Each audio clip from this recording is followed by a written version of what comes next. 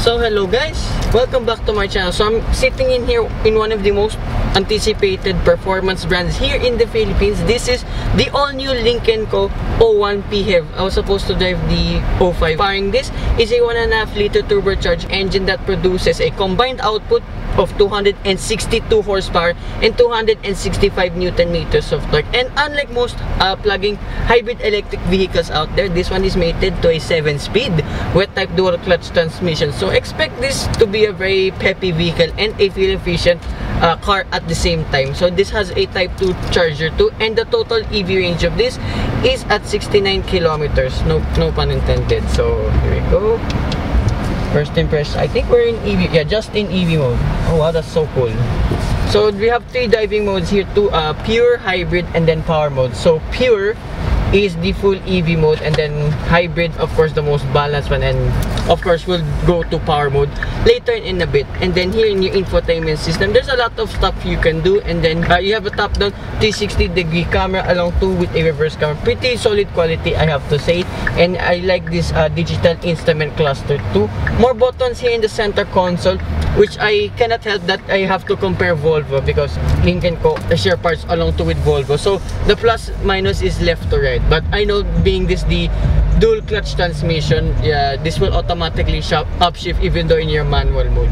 So here we're again here at the Manila International Auto Show and just going to DJs throughout here. Uh yeah went to ano, the NVH here is among one of the better Chinese cars I've tried out so far. And handling wise okay surprising there's a lot of heft here even though I think we're just in pure mode. I know hybrid mode no, and just simply at a gentle cruise. And let's go I think we're just in uh, hybrid mode. Yeah so far so good. It's Floyd.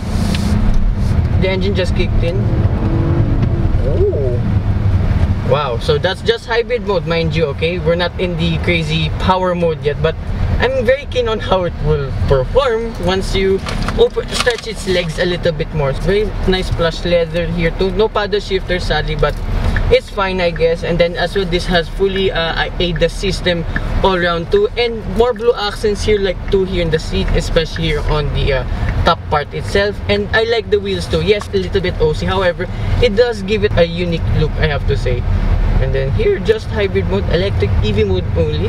Oh that's pretty good. And then here now uh, let's go power mode. Oh! Wow. Wow wow wow wow. That's really good. So I think this has regenerative braking but I'm not able to find it here in the infotainment system. However uh, all of the stuff here is pretty good too. You have Apple CarPlay and Android Auto wow that's pretty good. Of course being a hybrid electric vehicle you have almost instantaneous torque and as well with the power itself. Yeah this is among one of the more powerful PHEVs that you can buy out there today. Wow that's so good. As well too being a three-cylinder engine so I, said four-cylinder earlier. Yeah this one's pretty good. Sounds as well really good. And then here's suspension test. Here a bit of rocky road here and there. Oh yeah, that's pretty okay you can feel a little bit of stiffness in the suspension but that's I guess given in all this uh, class of vehicles. Wow there's a lot of wheel spin there. Of course again this is a very powerful crossover. Not to my surprise though. And here just going around here at the the test route here at the Manila International Auto so we're just doing already what it says here 10 10 kilometers per liter. Remember i'm hooning this thing around like mad. And why not? Sport mode.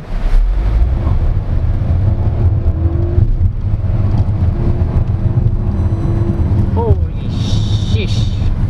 Wow that's so good. So i think right now since i've driven a lot of hybrid vehicles electric vehicles all and whatnot i think i might have a new favorite favorite uh, PHEV and this is I think as well one of the first full PHEVs that I've driven on my channel. And yeah this is such a good vehicle. Not to my surprise. And of course being the 01 one and number one car that I've driven from Lynk & Co we're already here at a very very good start. I'm yeah I'm very impressed with Lynk & Co. Yes this is one of I've been anticipating this Chinese brand for quite some time too. I keep saying that with some brands apologies. But this one I've been waiting for because this has a lot of have a lot of motorsport heritage too and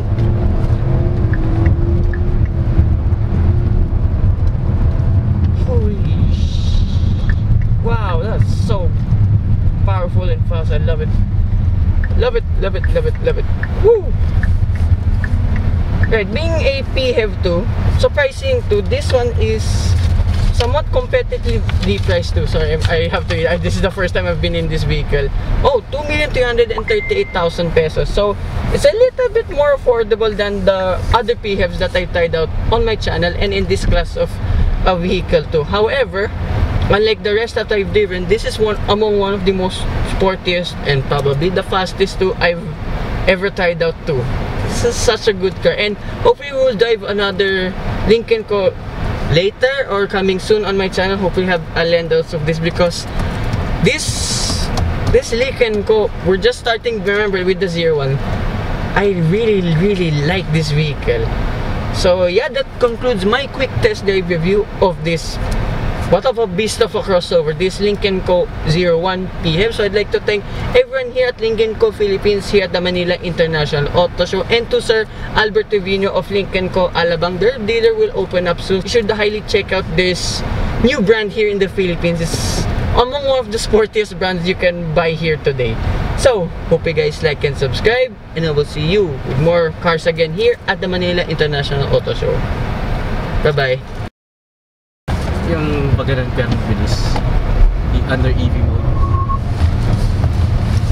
Uy, pwede!